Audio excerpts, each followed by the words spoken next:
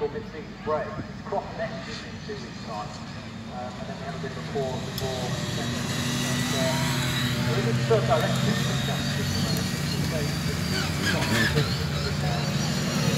at the